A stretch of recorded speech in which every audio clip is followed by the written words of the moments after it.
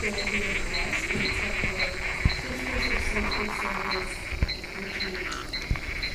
Encino, that's right. And so for us joining, uh, for you, excuse me, joining us uh, online, um, I'm going to repeat that. Uh, we will inaugurate the Biophilia Treehouse at the end of the month, Saturday, April 29th. So keep your eyes peeled.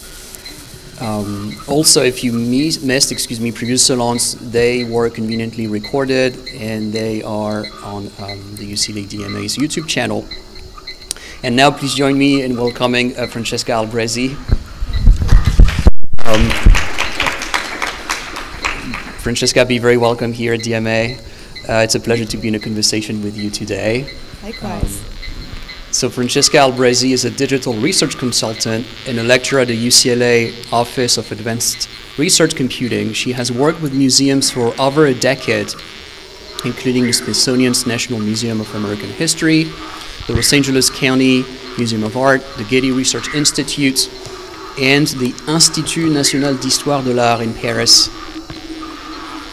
Um, she completed her doctoral degree uh, in the Department of World Arts and Culture Dance at UCLA, as well as a Digital Humanities graduate certificate through UCLA's Center for Digital Humanities.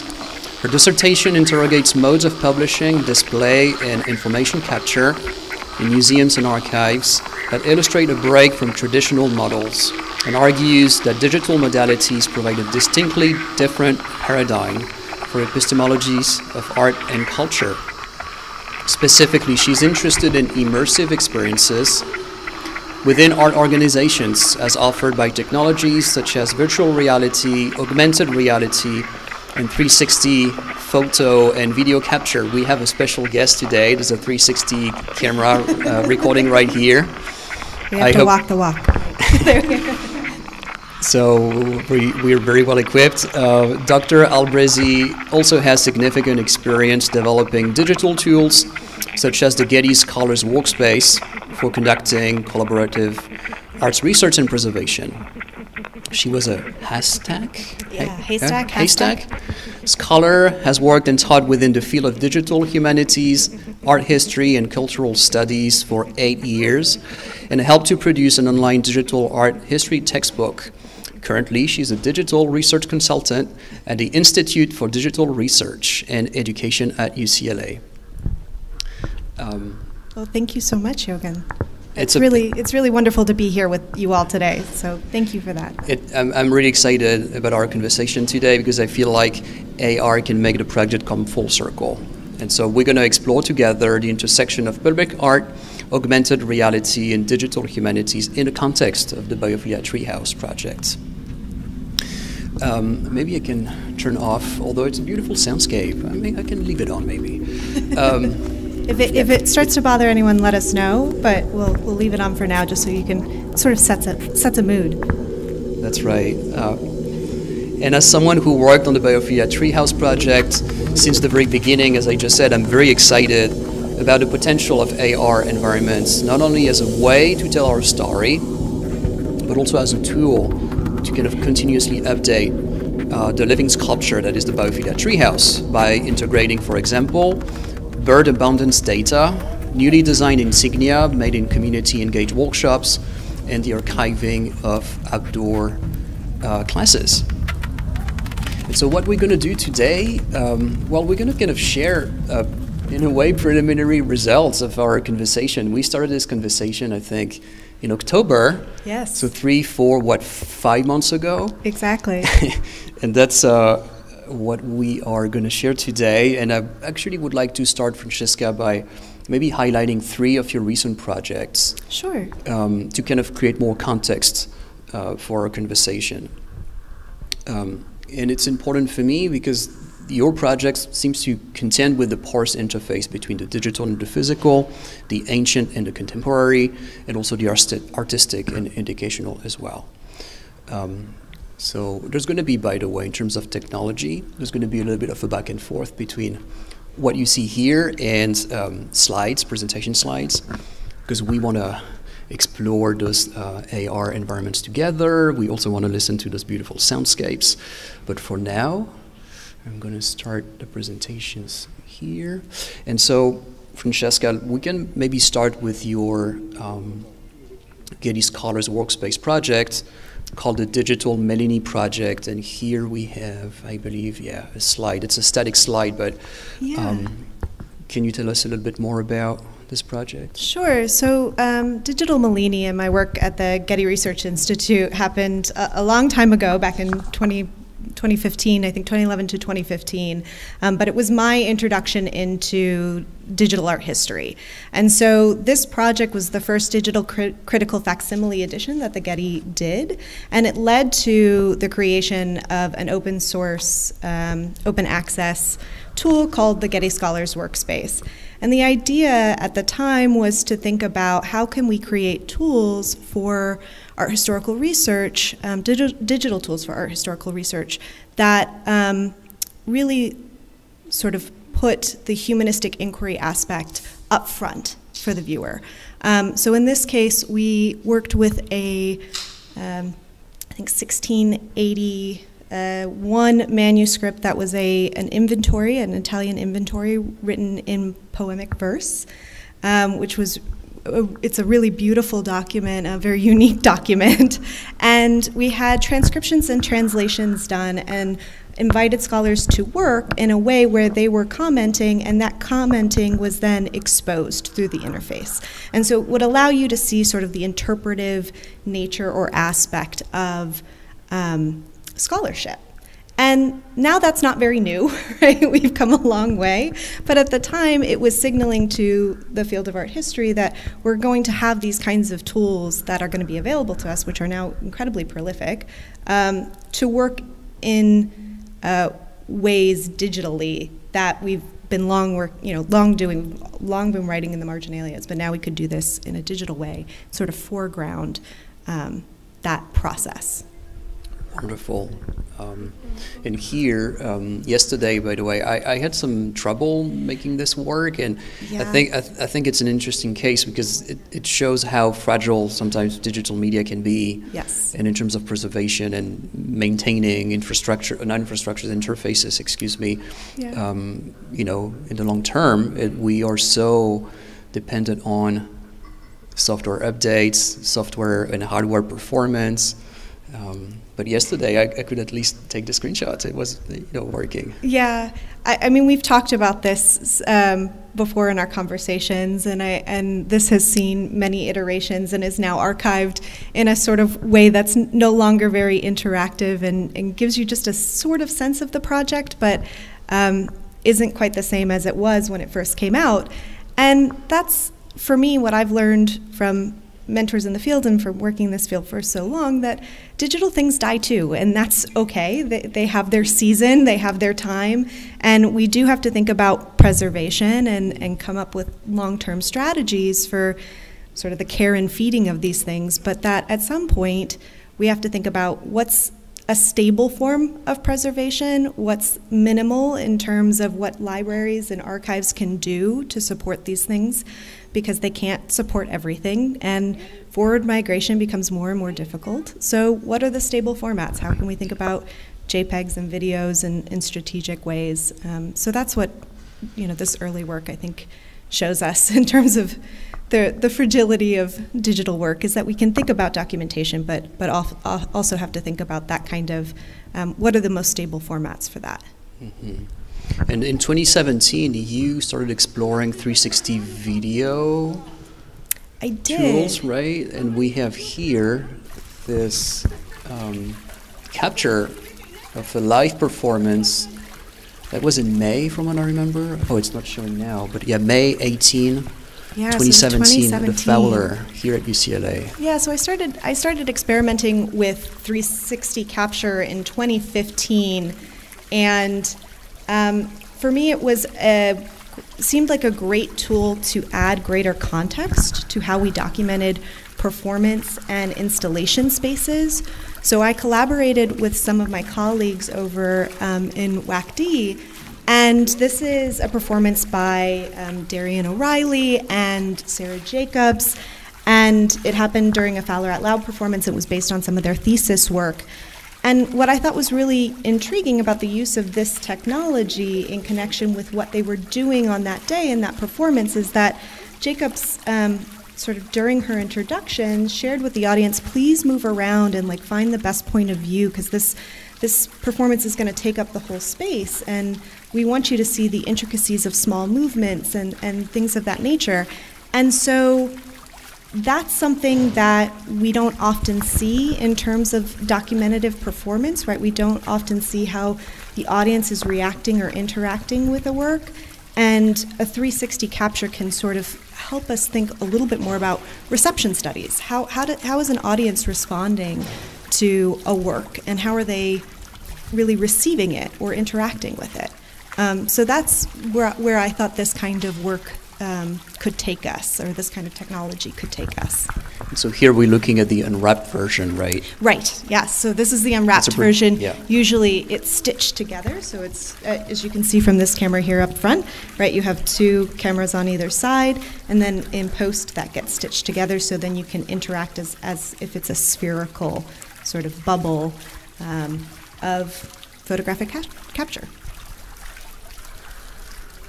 Is there something you wanted to point out in this um, performance here? Because I think we're halfway through, and it's so beautiful the way it captures the entirety of the space here. I I actually like the unwrapped version Yeah. a lot. It's it's nice. I, I think what's really interesting is that you can see sort of the photographer moves around a lot, but even though people were invited to move about the space, not many felt comfortable doing so.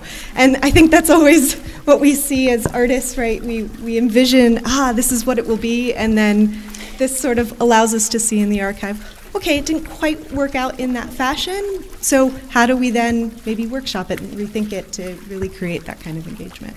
Um, so I think it's, it can be a useful tool as well for artists in terms of uh, thinking about their work. Mhm. Which brings us to um, this project uh, through Positive Eyes. Was it in 2019? Yes, just before, literally just before the shutdown happened. Okay. yeah, We remember that time. right. Those moments. Um, and so here, maybe we can go online. Uh, This is a static slide, um, but you use Matterport, different 3D capture technology. Right. So this actually, um, Matterport is a 3D capture technology that stitches together, can stitch together several different captures, either lidar or 360 photos, to create sort of a, a simulated movement through a space. And I found that for me, as someone who co- was coming out of museum, a museum studies background as well, that the way that we teach exhibition work is one in which we often just look at a lot of um, exhibition catalogs, read a lot of exhibition catalogs, maybe see some images from a show, but don't necessarily get to always see these exhibitions once they've been taken down um, that we read about. And so I thought it might give us an opportunity to annotate those spaces and actually have a more immersive experience with those spaces. Um, and also, if an exhibition is traveling like this through Positive Eyes exhibition, compare and contrast what those installations look like and why curators make different decisions based on the space, based on the work um, in that space. So this was um, taken with a 360 camera, similar to this one, and then stitched together using Matterport. So it has that dollhouse effect at the beginning, and then the annotations are um, based on all of the wall labels that are in the space and high resolution images of the works in the space.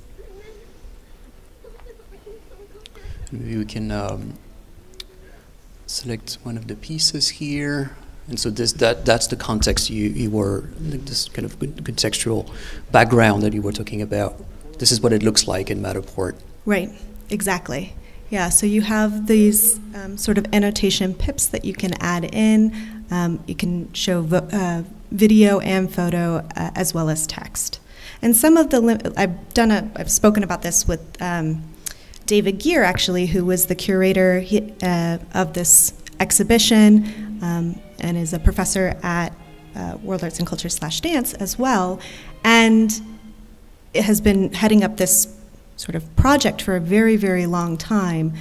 And one of the things that we talked about in our conversation was that in certain cases, there's limitations to this tool.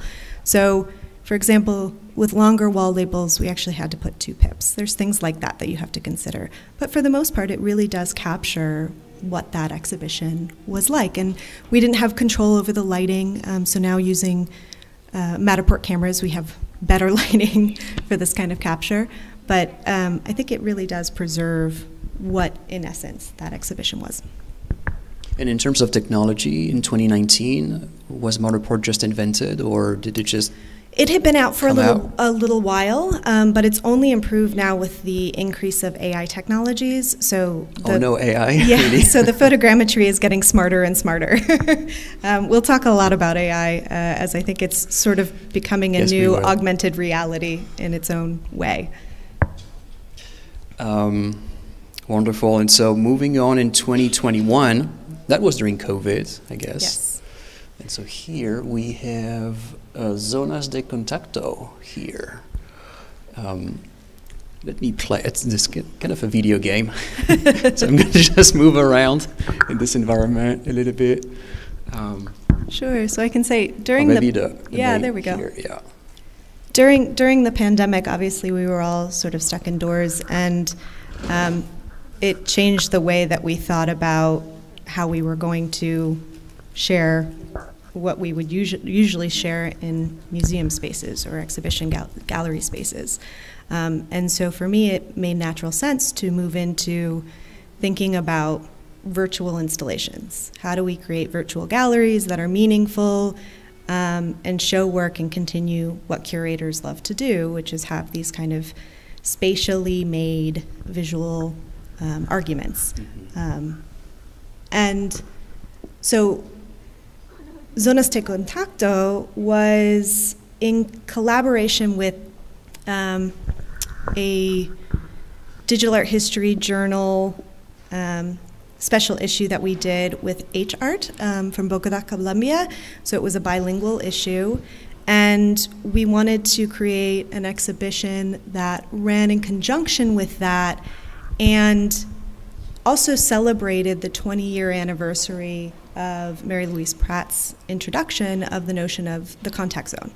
Um, so, this sort of uh, negotiated area um, that is a, a, a, cultural space where that kind of discussion can happen.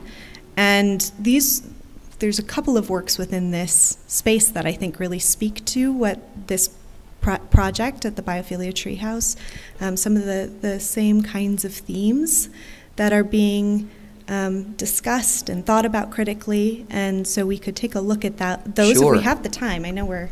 Um, maybe we could do one or two. Step back here. I remember you mentioned that piece here, right?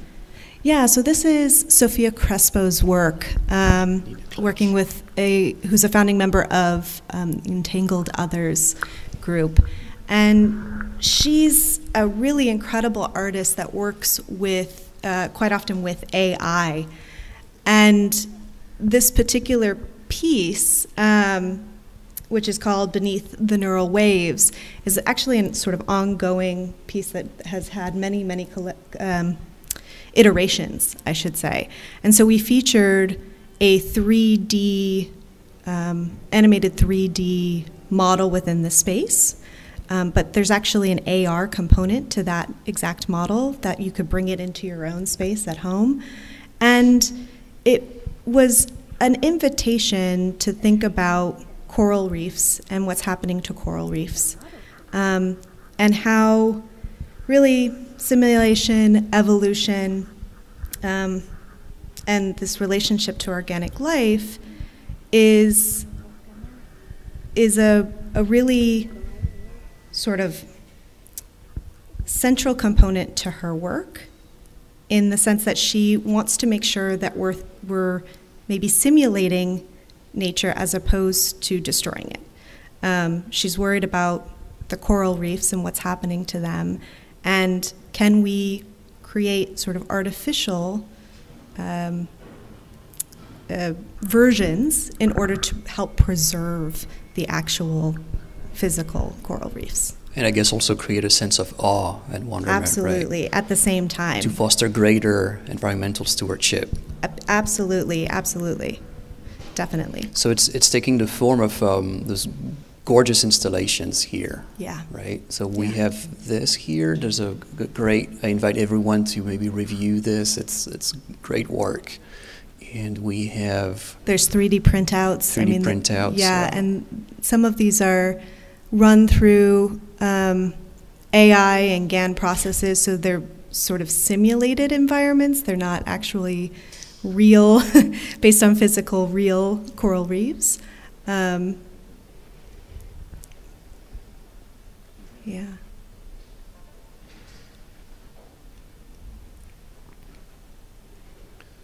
Just an incredible project. And so this is an example of the AR component where she brings sort of these. Um, oh, and this is what's in, in the show, right? In the- yeah. Um, so this is a version of what's in the show. right here. Um, yeah. these augmented reality coral reefs that you can bring into your own space and sort of wonder at that that world. Great. Is there any other work that you wanted to highlight in this exhibition Um, before we move on? There's one other AR work, um, Tlaloc, um, which is a it was a animated piece by Where shall I go? uh. Raul. Urias. Um, so if you go behind this wall of beneath the neural waves, yeah, so you can sort of see it there across. And here's the here's the animation here to the left, and to the right is the example. Um, so that's a collaboration between uh, Zach Matan of Electrify AR and an AR company, and Raul uh, Urias, who is a um, artist working out of Mexico City and uh, illustrator. And so they work together to sort of create this animated version of the Aztec god Tlaloc, who, uh, Tlaloc, who is um, a water deity. And I think really this, the work speaks to sort of bringing ancient into the contemporary and rethinking, reimagining um, histories in new ways um, and bringing those things to, to us today using new technologies. This is so great. So we have here um, a zone of uh, contact or contact zone, and another contact zone is the biophilia treehouse. Yes. And so from the very beginning, um, we've been very clear that birds were our clients, and our aim is to offer them a place to nest and thrive, befriend them, protect them, and have the public marvel at avian uh, life force. Right. That's one of the main tenets um, of the Biophilia Treehouse project, and also when built in sequence and installed in different locations, Biophilia treehouses they remediate to habitat fragmentation caused by LA's unbridled sprawl. Um, and in this network, uh, as some of you may know, each treehouse is a stepping stone for birds. It's a complete ecosystem, and it's also a public art living sculpture designed in collaboration with underserved communities who also suffer, as we know, uh, the most from the um, from environmental injustice. Excuse me. And in other words, each treehouse is a contact zone to avian wildlife and life force, native plants as well, and community storytelling. And this is really when augmented reality uh, can hold space for conversation and also education. And so, in our uh, conversation uh, since uh, the fall of 2022, um, there was this back and forth, and we were kind of building from the ground up somehow. And you selected um, a whole host of tools. Uh, I remember most of them are open source. Um, and those tools are here to design a, an AR interface that identifies birds. But I know that this is just a low hanging fruit, as you told me recently. But that's a beautiful low hanging fruit, I guess. Yeah, some of them. Um, and so th- there was, um, if I go back to the presentation here, Sure. we had an app um, first. If I can find my uh, here. Uh, no, I don't have it here though. Uh, That's the Bir- okay. Birda, Birda. Berta, Birda is, um, and also research it quickly. um, Merlin Bird ID um, are both apps that I think are could be what I would say low hanging fruit in terms of when we're discussing, okay, how do you bring AR into a space like the Biophilia Treehouse, right?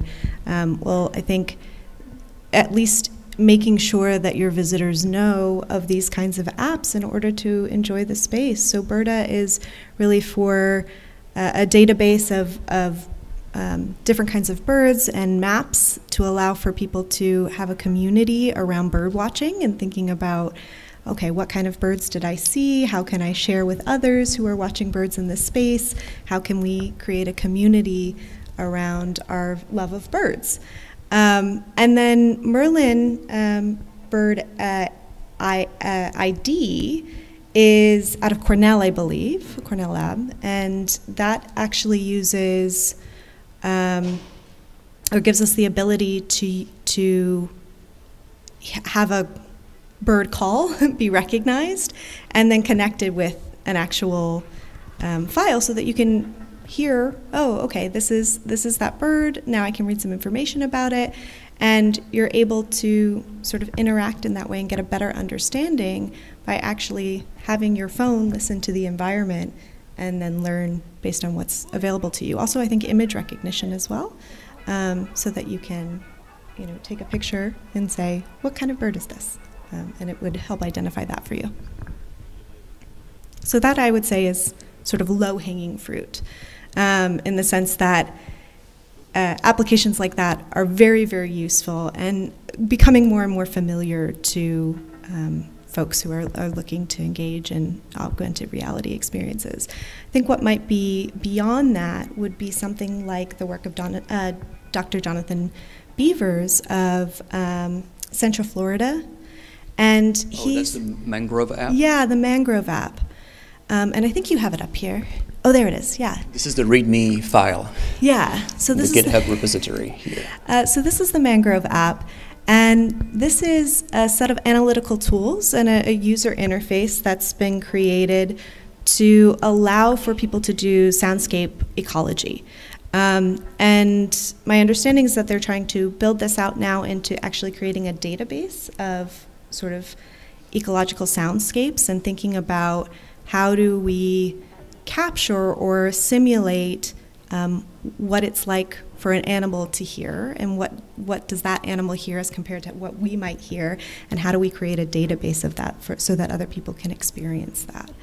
Um, and i think that that would be uh, a higher level um, maybe a higher, higher hanging fruit but a really incredible thing to be able to be in the biophilia treehouse space and think about not just what you're hearing, but what are the birds hearing? How are they hearing in this space? What are they experiencing in that space? Um, so, I mean, in doing some of the research that in, for our conversation, I also came across the work of um, Dr. Klaus Schmitt. And, you know, the what I was learning was that birds actually see very differently than we do.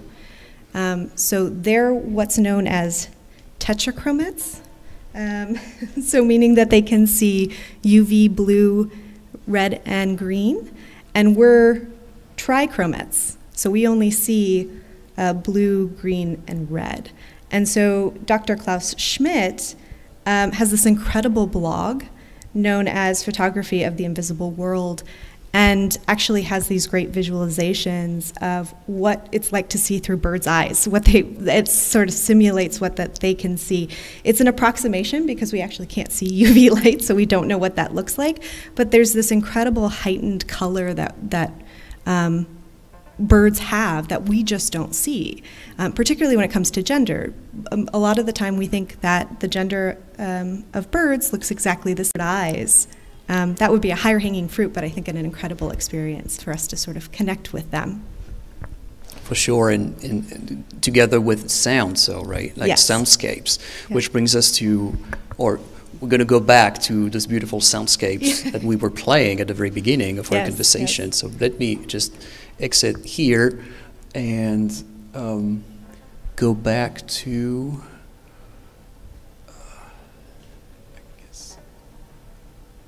Entangled. I think it's here. No. Oh, digital ecologies. There you go. Yeah, digital ecologies.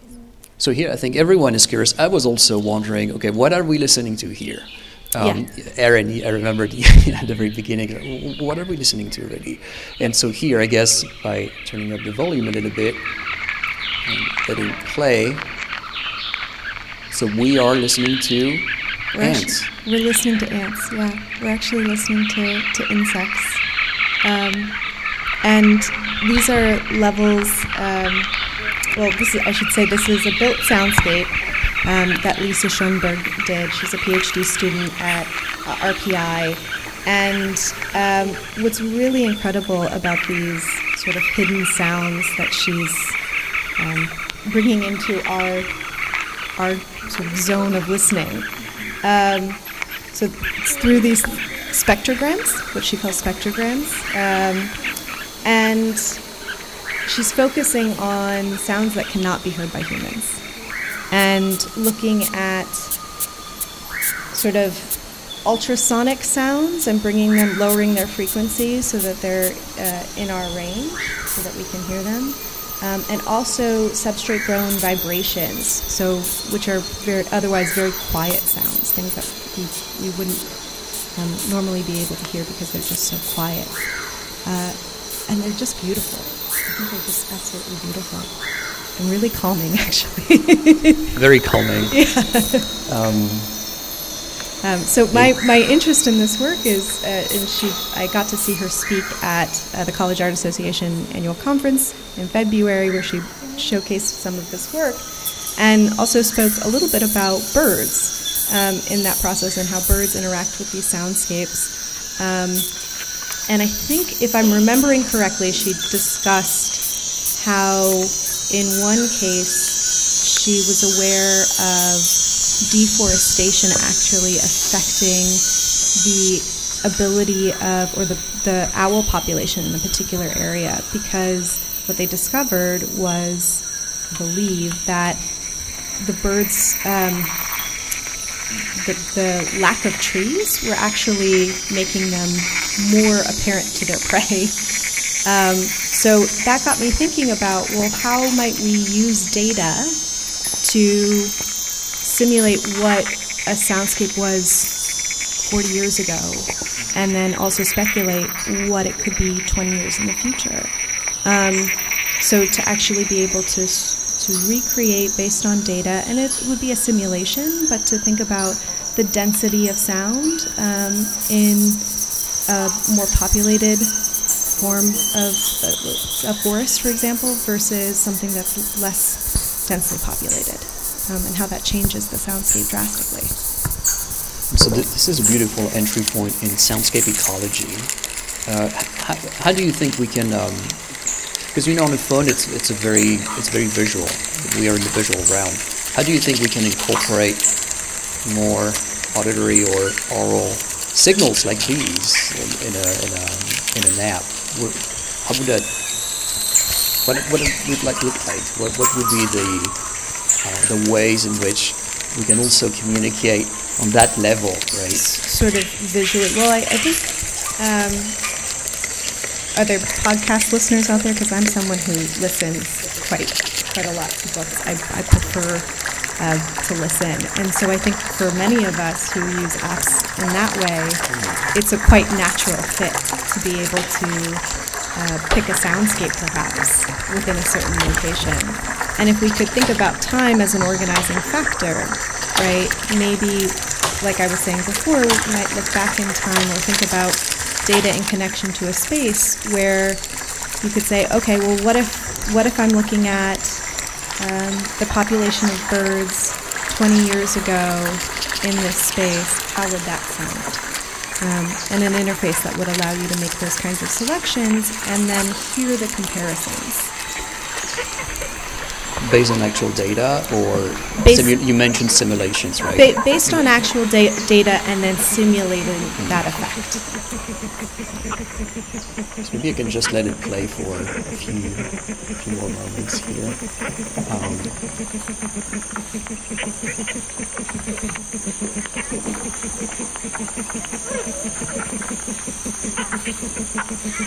and so going back to one of your um, the things you, you you said today, uh, in a way, an AR interface can be seen as a very powerful magnifying glass. Um, but there's a, a question that remains, it seems to me. how close can we get to see, feel, and sense like a bird? You mentioned that they have a different perception, visual perception. Um, so how close can we get to see, feel, and sense like a bird? But are we sure that we are perceiving the world the way they are perceiving it? I think I think it's really one of the like the questions that is at the core of the conversation we've had in the past few months. Absolutely. I don't, I don't expect you to, to give a final answer now, but if we can kind of explore this together explore a little, bit. Yeah, I I um, I know we have this idiom, you know, to walk in someone else's shoes, and I think that's sort of the intention here is to produce that empathy or sympathy um, with our non-human friends, and extended reality technologies, right, are all about tapping into the human sensorium and uh, thinking about the embodied experience and tapping into different sensory, sensory levels. Um, so I think we definitely have opportunities with extended reality technologies to create that kind of um, powerful, um, embodied experience and, and just to and create greater understanding through that, right? Just a, a, greater sense of, oh, this is how you live, this is how you experience the world. And just from a personal example, um, I was online the other day and I came across a video that simulated what it was like to for someone to see with negative one vision, negative two vision, negative five vision, negative ten vision. Well, I'm someone who has very bad eyes. I have negative eight in one and negative nine in the other, so I'm legal, technically legally blind without my glasses or contacts. Um, and it was wonderful for me to be able to share that with my partner and say, this is why I can't see things all the time when you tell me, hey, you spot that over there? And so he's able to have a better understanding of my limitations um, based on my embodied experience after watching something like that. And so while I don't think that we'll ever be able to um, fully understand what a bird's experience is like, nor necessarily do I think we should, and I'll talk about that more in a second. But I think it does give us an opportunity to marvel and to understand um, a, a, little bit more of, oh, that's why they're sensitive to this, or that's why maybe we should be more considerate about why, um, because they're experiencing the world in a different way than I am. Um, so uh, I, ultimately, I think it's it's about the goal in the first place and how we approach that goal of being able to have that greater understanding. Um, one of my late mentors, Polly Roberts, studied with the Luba people uh, in the Luba Kingdom in uh, the Democratic Republic of Congo, and she learned a lot of wisdom in working with those peoples um, that was that was sacred, and she chose not to share it because she understood, after working with them, that not all knowledge is for everyone, right? That there are, there's some things that we are meant to know and some experiences that are meant to be our own. And so, how do we? I think that's part of forming respect with our non-human um, friends is uh, also respecting our limitations to understand their experience. Um, it's pretty profound what you just shared. Yeah. It resonates with, with me and I think the whole Counterforce team in, in so many different ways in the context of the Future Treehouse Project.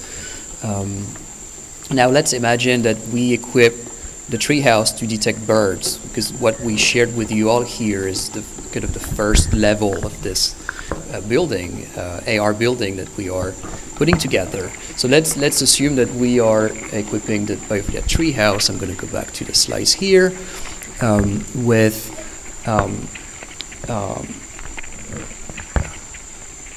and maybe wait, I, I will just disable this turn it off here. Okay.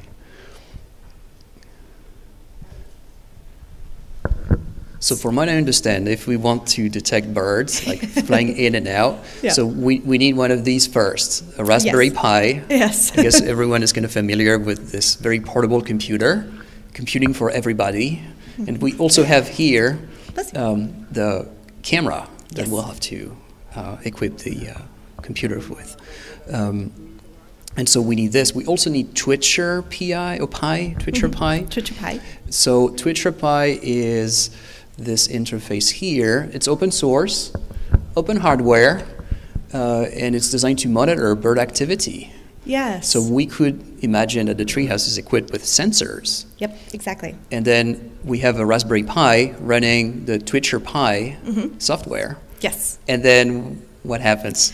Well, and so in that way, we could get a better sense of, like it says here, right, how many different types of birds are coming into the space, how, what areas they're frequenting, how long they're staying there. And that creates data that could then be shared with other biophilia treehouses projects down the road if there are multiple installations of this and to compare and contrast. I think what I, I like about this is that we can get a very good understanding of um, how birds are using the space, um, what they're liking about the space, what's what's working for them. I think what worries me about a, a, an app like this is. Are we just creating a surveillance sort of anthropological, you know, detached uh, observer uh, view again that we want to try to avoid. And so, I, what I find um, uh, really interesting is is if we think about AI in a different way, um, and this is why I, I mentioned to you um, Kay Alado McDowell's work, Mhm. and in that particular eco-fiction memoir theory travelogue it's very unique and it was co-written with chatgpt they're Oh no, ChatGPT again. yeah they're exploring um, and I'll, I'll quote um, uh, this story focuses on quote machine a human machine experiment rooted in magic which produces a key to rewriting reality a manifesto describing how entangled human and non-human intelligence will remake our technologies identities and deepest beliefs.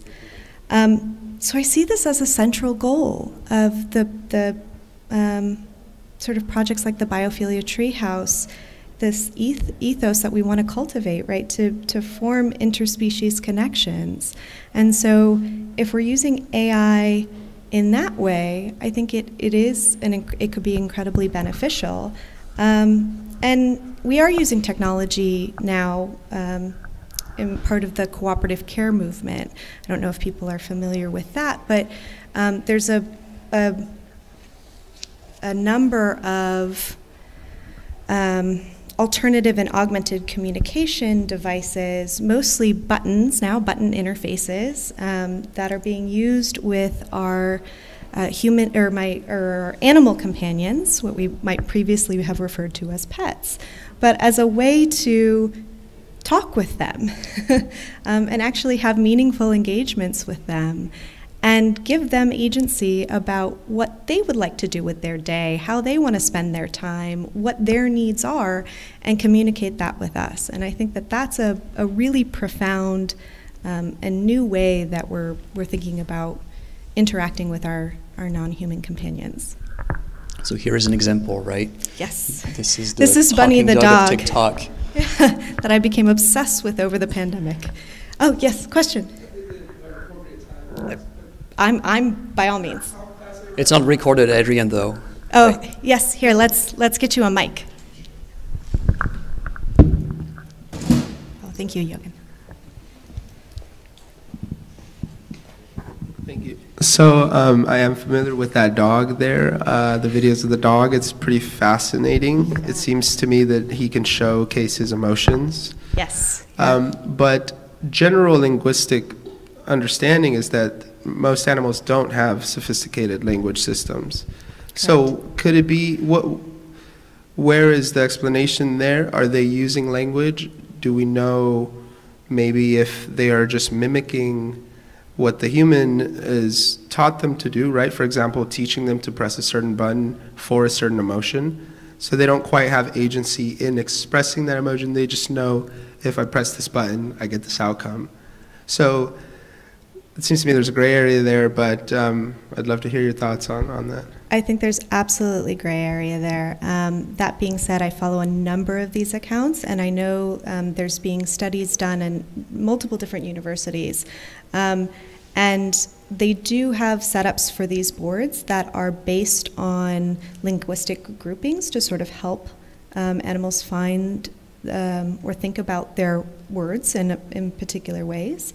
Um, that being said, I think one of the things that we've talked about is also are we just sort of mapping our heuristics onto animals, uh, training them to, to speak in our language or in the way that we can understand, rather than us trying to, to really follow their behavior and respond to that. Um, so I think it's an incredibly um, important point that we have to keep thinking about. Um, yeah, you want to jump in as well?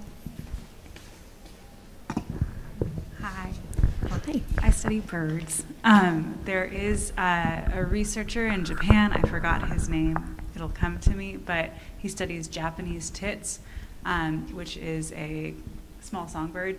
Um, and he specifically studies language in birds and makes the claim um, very successfully. I think his, his uh, experiments are really elegant um, that there is a language um, that it can be classified as language because it has multiple components and forgot the exact details, but it's very interesting um, because you can get into their own grammatical structure. Um, and this is particularly in a social bird. Social birds are more likely to have something like that, but that might be of interest too. Absolutely, absolutely. And Lily. Hi, I, and um, you know I have a similar addition. Um, so I took a class with um, Nicholas Hummingbird, who identifies as Cahuilla, and he's native, and he also uh, knows the Chumash language. And the, the I can't remember the exact word that they have for bird, but the the word for bird that they have is actually mimicking a sound that they make. So it's not just coming from you know an ethnocentric kind of idea of relating to birds, but actually being in conversation with the birds and um, in their grammatical structure when they speak not about birds they're always speaking with them right so they're actually in conversation with the birds and um, so we have to think beyond i think um, languages that are usually studied right and languages that are often um, pushed to the margins, right? A lot of indigenous folks aren't necessarily um, considered in studies, right? We, there's the weirds, right? What is it? The Western educated, um, I forget the other uh, letters, but you know, basically that you know we're usually looking at language from like a Western European perspective, and inadvertently we're excluding a lot of other um, epistemologies, cosmovisions, et cetera, et cetera. Absolutely. And I think, I mean, just to sort of re reference something that we talked about earlier in the um, um, idea of the Merlin app, right, where you can take um, a natural song of a, of a bird eh, or, um, and then trace back to how we have cat- cataloged it and thought about it. At least that's coming from or utilizing their own vocal, you know, expression as opposed to us trying to say, here, use this button to communicate to me what you want, um, and, and find maybe greater understandings of the uh, difference in calls, right? So that you can understand what's happening because you now understand their language, you understand their calls and what they commu- how they communicate instead. Absolutely. Did, did, did, you want to add something, Rebecca? Oh, you're holding the mic?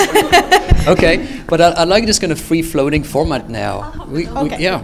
Um, so, oh, right. oh there's another have... reaction.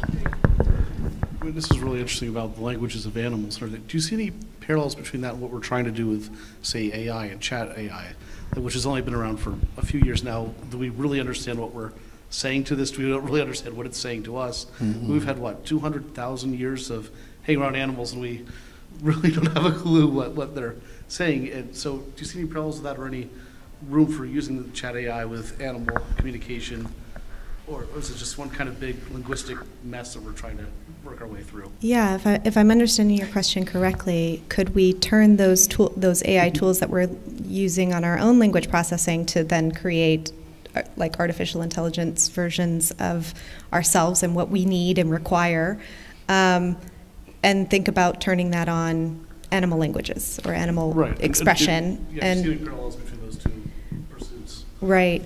I, I think it's fascinating. I'm sure we may get there eventually. I don't know the ethi- about the ethics around that. Um, and in some ways, it, you know, there are things that you know we can simulate calls that then create responses um, with our animal companions and our animal friends. So that I think certainly speaks to that kind of a connection. And if artificial intelligence could then do that, could we start communicating more regularly or frequently with animals in that way? It's a it's an interesting thought. And, and very quickly, we had this example here. So we're looking at uh, the parrot kindergarten. Yes. yes, this is Um, uh, Jen, Kuna, and Ellie, her parrot, her, her, her parrot companion. Parrot companion here. Um, and Ellie quite regularly um, picks her own songs of what she likes to listen to. She prefers pop over classical, um, just so you know. And uh, she actually just recently called Jen on the phone using the iPad um, to say, "Please come here.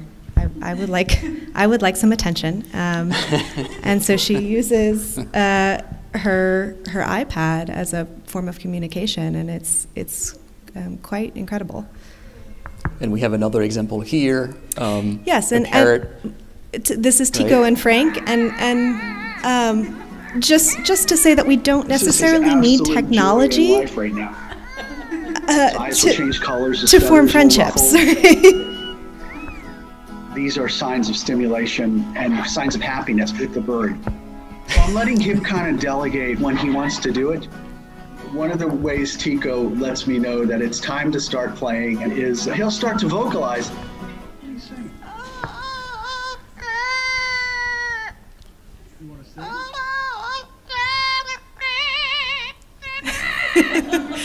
so he's he's very much you know they're able to it's time to communicate without having to necessarily have technology mediate. Um, and I think that just comes from a close bond and a, harnessing a sense Tico in of some way. care. I'm not right? superstitious, but I just see a great performer in him I could watch Tico and Frank all when he's day. performing. Tico's flamboyant personality comes out and he arches his head like he's looking over a stage.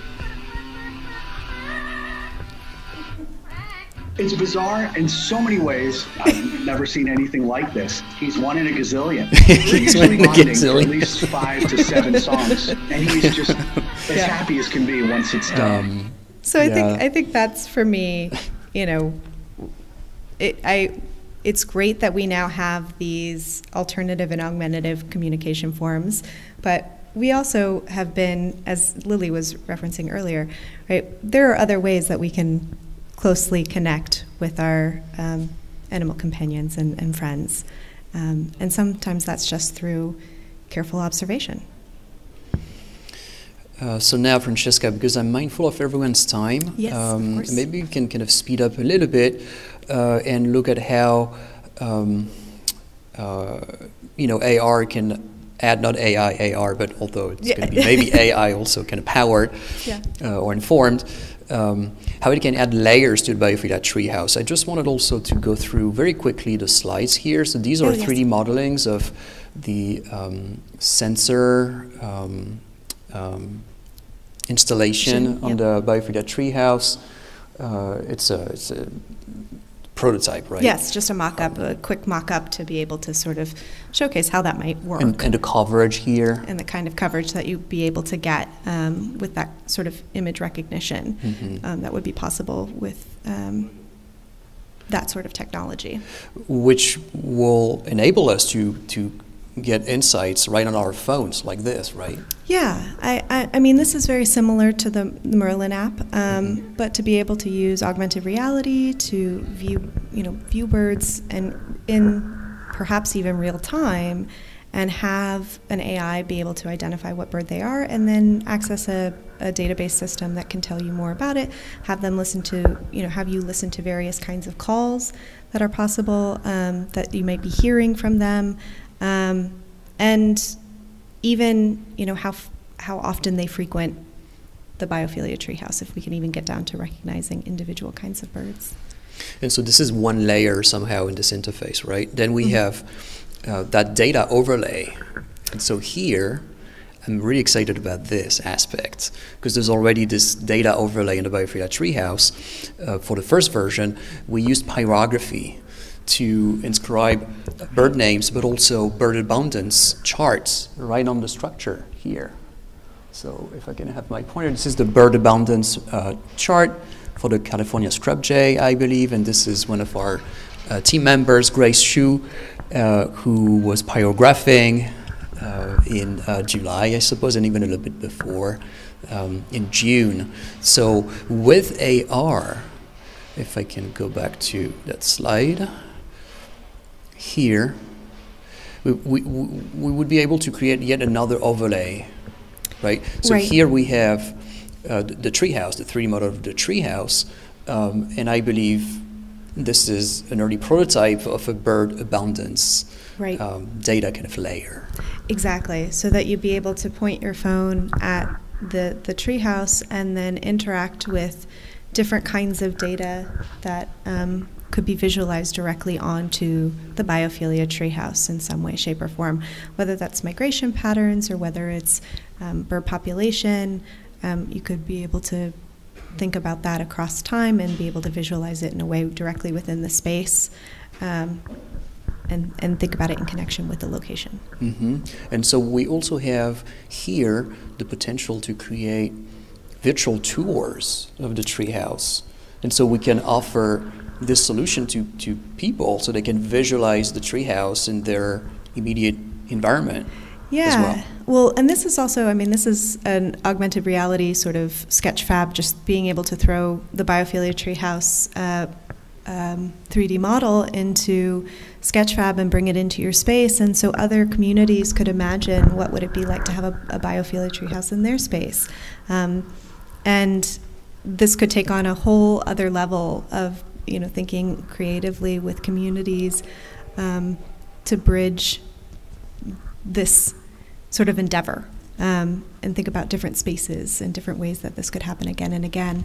Um, I also, uh, I think there was a mock up of, I've done some work with the botanical gardens here at UCLA in connection with um, uh, Anthony Banayaga as well as um, uh, Chenling Luzilini.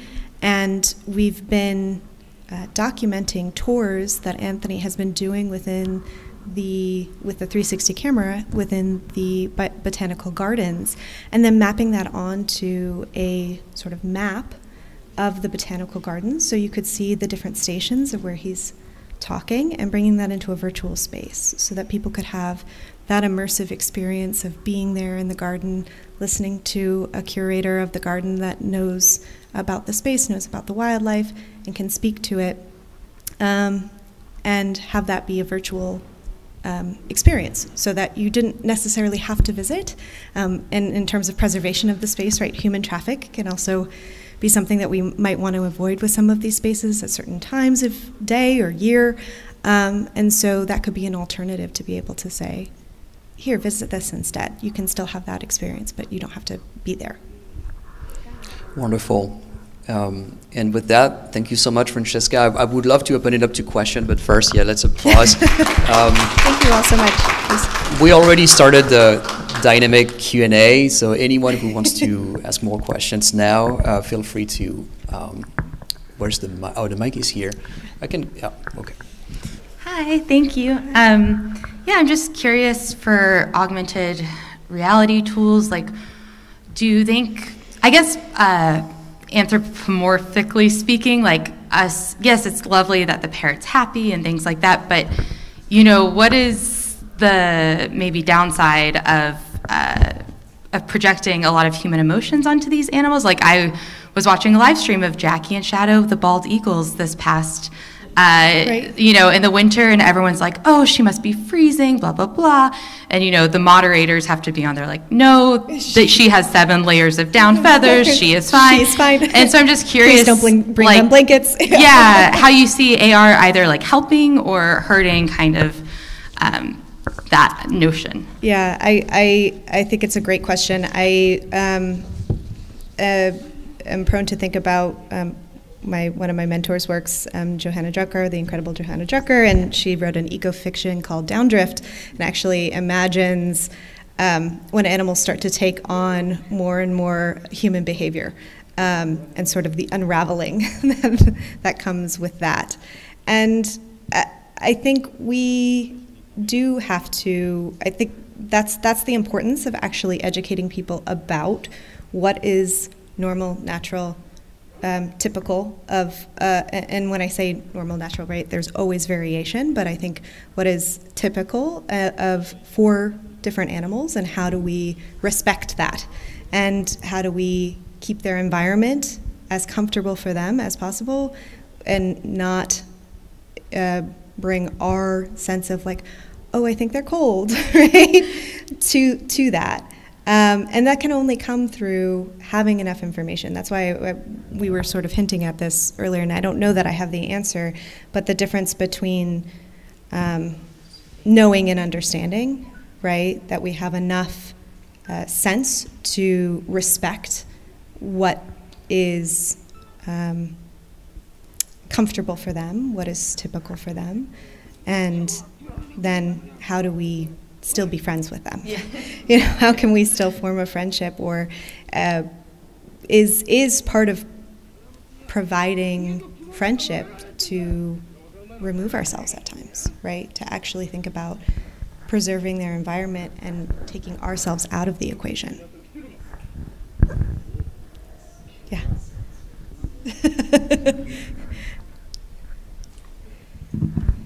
Can we just build up, uh, build off a little bit of what you said about like the live streaming? And this is something that I'm kind of terrified with.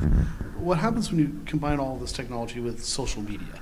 And here's some laughing, like you know, the big scary thing that is social media and the way that can distort or maybe bring people in the, to a natural environment that they shouldn't be, or the, or perhaps promoting behaviors or interactions with animals we don't want. Because once it becomes part of social media, it becomes completely out of control to some extent. So, can you talk a little bit about how the AR, this whole thing, with will interact with social media, perhaps? Well, I think at, from what I found, at least in terms of this cooperative care movement, social media has played a, a major, major role, and it's totally changing a generation's interaction with their animal companions in, in, in many cases.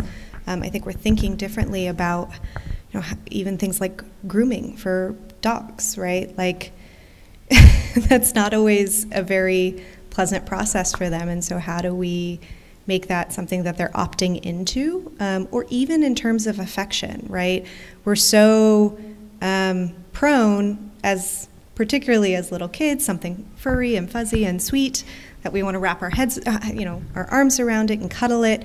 Um, but that's actually not always what that animal is comfortable with. And how do we then read their body language and their signs of communication that maybe aren't um, the same as pressing their buttons, but if we can better educate ourselves through something like social media and have these kinds of conversation, we can create a more knowledgeable set of um, uh, human uh, and animal companionships that are healthier for both.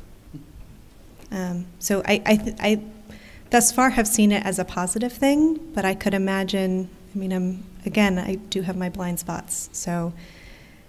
It, there's also, I know, a lot of pushback in that community of people who are saying, "Oh, this is all fake. We, you know, they're just pushing buttons. It's not real," and that takes a, a toll on that community as well. So, I think, like you said, there's there's definitely um, complexities when it comes to social media and thinking about this kind of um, conversation. Uh, does anyone have other thoughts on social media in connection with? I mean, I certainly don't think they're going to be getting on Instagram anytime soon without our help. but who knows? Birdie, Birdie, or Ellie is uh, and is getting very adept with her iPad. she may be taking over her account soon. All the questions.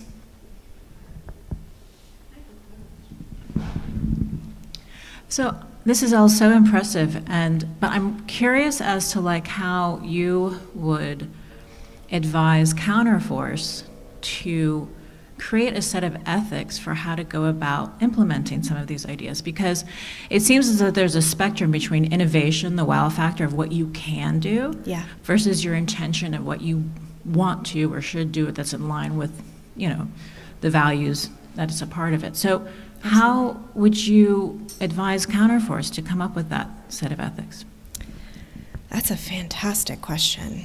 Um,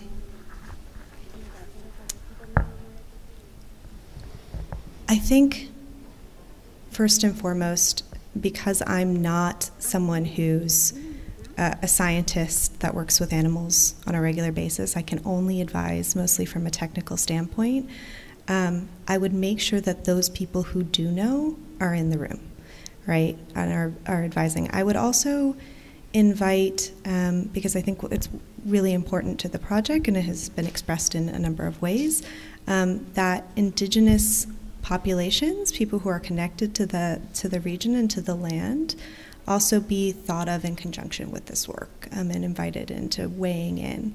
Um, because they've been stewards of the land in many ways, and that always hasn't been um, recognized or invited when we start to think about, oh, okay, then how do we how do we do this better? well, they, they, there's a long history there. So um, bringing those understandings in and making sure that they're acknowledged and, and um, are participating, I think would also be important. And then in terms of the technology side, I think really understanding the the connection between their biology and technology. So I certainly, like we saw from these soundscapes, right? I certainly can't hear everything that a bird or a bird or an insect hears. Um, so I don't know if, you know, installing these um, sensors would actually create an issue in terms of what they're hearing. Is there a constant buzz, right? I lived next to a building for years, and when I moved away from it, I didn't realize I was living behind a FiOS um, building that offered internet, and there was a constant hum. And when I finally moved out of that space, I started sleeping so much better, right? Didn't realize, oh, of course, that constant hum is, is something that was affecting me deeply.